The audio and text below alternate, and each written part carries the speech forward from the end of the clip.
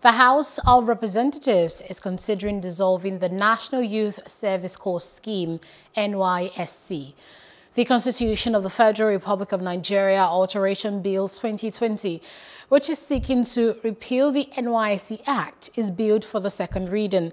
The sponsor, Mr. Awaji Abiante, listed various reasons why the NYSC should be scrapped, including the incessant killing and kidnapping of corps members in some parts of the country due to banditry, religious extremism, and ethnic violence.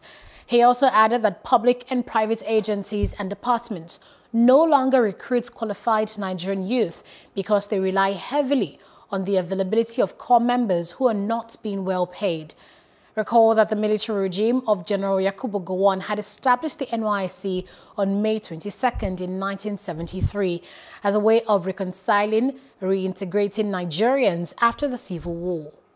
Hello, hope you enjoyed the news. Please do subscribe to our YouTube channel and don't forget to hit the notification button so you get notified about fresh news updates.